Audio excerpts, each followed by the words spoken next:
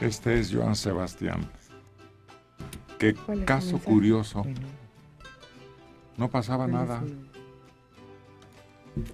con su nombre original, José Manuel. Y luego alguien le sugirió y el cambio de nombre a Joan y su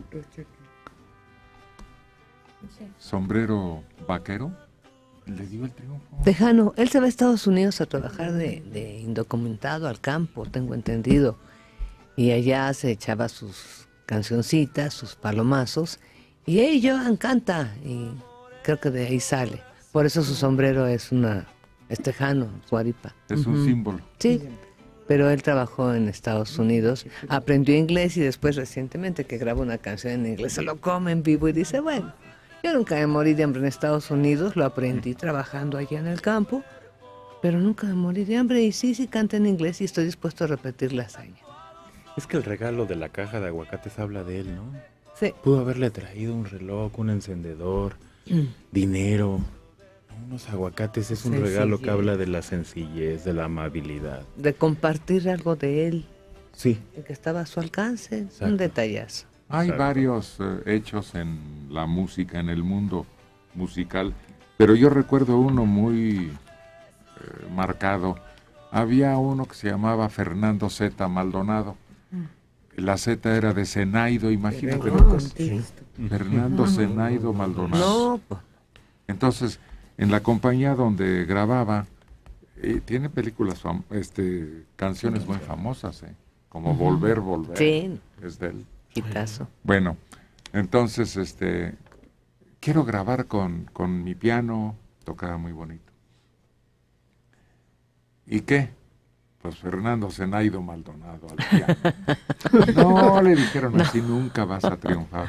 Pues no. Y entonces fue a su casa y al día siguiente regresó. Ya sé cómo me voy a, llamar. ¿Cómo? Fred McDonald. Ah, pues sí. Bueno. Y lanzó sus discos con ese nombre, Fred McDonald. Por ahí andan. ¿Y pegó? ¿Y pegó? pegó. Estuvo trabajando mucho en Estados Unidos con ese nombre. Mira. ¿Y? Era esposo de María Alma de la compositora. se casó, con, ella y ella murió a muy temprana edad. Pero hicieron éxitos los dos, tanto María Alma como Fernando. Otro que le pasaba lo mismo era a, Gómez Zeta, que era el dirigente de ferrocarriles, del sindicato de ferrocarriles. Pero ese era Cepeda, no le gustaba.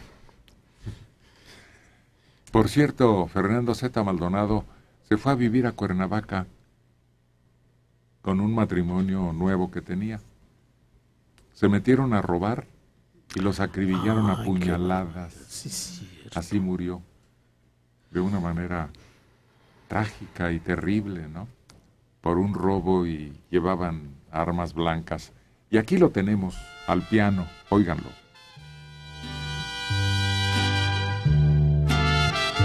¿qué pasó? Yo creía que iban a poner el piano. ¿No lo tienen? volver, volver, volver. No, esa es la canción. Volver, volver, que nadie pensó que era de él. Y empezó a popularizarse y a crecer, a crecer, a crecer su fama. A pesar de que ya tenía nombre. Pero esa canción de Volver, Volver lo lanzó de para todos los folclóricos. Y el intérprete también, desde luego, que influyó mucho para que una canción tenga éxito. Volver, volver, ahí vengo, ahí vengo. No me tardo. A ver qué tal toca el piano este. Es un gringo falso, Fred McDonald. Ah, Ese es al que aludíamos hace un rato. Fernando Zeta Maldonado, pero con una falta falsa personalidad.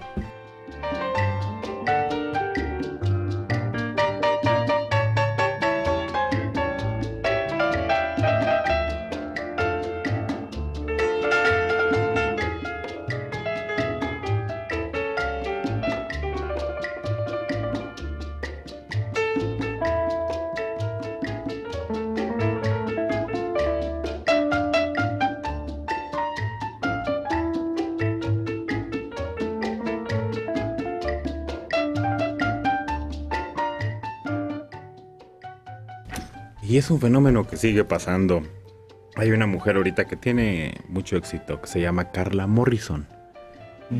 Ella dice que, que le tocaba Vieira, su apellido, Viera, creo, algo así. Y, y, Morrison suena más, más exótico para la gente, les llama más la atención. Todos decían, pues quédate con el Morrison. Por un, problema familiar ahí, una cuestión, tuvo, le tocó Morrison, aunque su original era Viera. Eh, Rita Cancino era su nombre original. Y hay el caso, eh, buscan ¿Pero quién es Rita Cancino? Ah, Rita Hayworth. Ah, eh, pero también hay, hay mujeres célebres que eh, prefieren que quede ambiguo su nombre cuando escriben. Estaba viendo que Taylor Caldwell, la del un novelista, pues eso es mujer. Este bueno, el, el, caso más célebre es B. Traven, aquí en México. Ah, sí. Bueno, ese era, mantenía un, sigilo, pero quién sabe por qué. Porque finalmente fue Traven Torsman, el nombre verdadero. Pero tiene libros y eh, fueron adaptados a cine con un gran éxito. El Tesoro de la Sierra Madre, La Rebelión de los Colgados. Eh, ¿Cómo se llama? Canasta. ¿Eh? Canasta. Canasta de cuentos mexicanos. Ah, la canasta de cuentos mexicanos. Sí. El barco de la muerte ese no fue llevado al cine, ¿verdad? No. Pero es, es notable porque no agarra el ámbito folclorista así de México, ¿no? De México, oh, sino que de veras uno no, no puede asegurar que el autor es extranjero cuando lee esos cuentos sin saber.